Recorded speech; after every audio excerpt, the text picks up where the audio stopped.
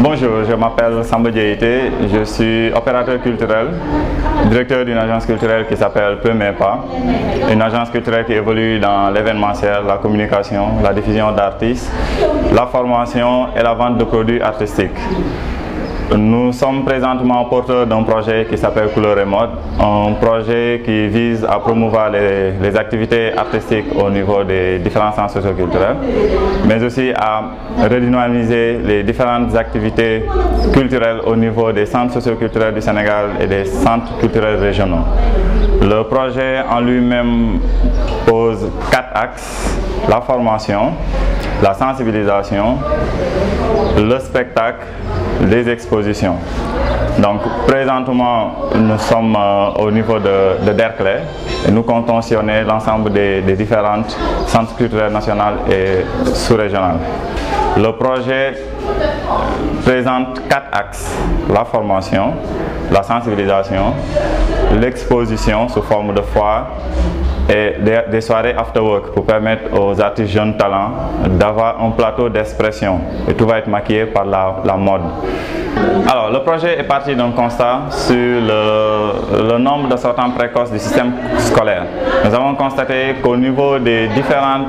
quartiers du Sénégal, nous avons remarqué qu'il y a des centres socioculturels qui existent, mais malheureusement qui, ne sont pas fréquentés par les acteurs eux-mêmes. Alors, il y a les infrastructures sur place, il y a les personnes ressources sur place, mais les, les centres manquent de contenu.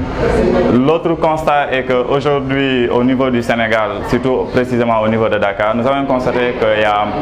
on n'a que deux grandes infrastructures qui, nous présentent de façon récurrente des activités, à savoir le Sorano, à savoir également le Grand Trajet qui est tout nouveau, à l'instar plutôt des, autres centres culturels privés qui sont là, comme l'Institut français, comme le Goethe Institut, comme, euh, comme euh, le centre espagnol, etc.,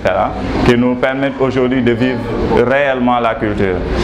Euh, par rapport toujours à ce constat, nous en tant que jeunes acteurs, en tant que, qu'initiateurs, opérateurs culturels, nous nous sommes mis comme sacerdoce de nous impliquer dans la vie des centres socioculturels. À travers maintenant ce projet Couleur et Mode, nous avons l'espoir qu'aujourd'hui, les artistes jeunes talents qui gravitent autour de ces centres, les, populations environnantes, les écoliers, etc., tout le monde va pouvoir s'impliquer dans la mise en œuvre du, du projet au niveau des, des, différents centres socioculturels. Alors nous lançons un fort appel aux partenaires, aux bailleurs, mais aussi aux acteurs culturels à s'impliquer dans la mise en œuvre, dans la réalisation concrète de ce projet-là.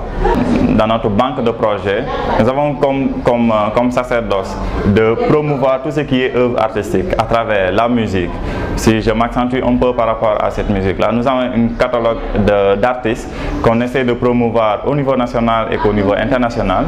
mais également toujours par rapport à cette catégorie d'artistes, nous avons également des danseurs qu'on essaie aussi de, promouvoir et de permettre d'être visibles aussi dans d'autres scènes.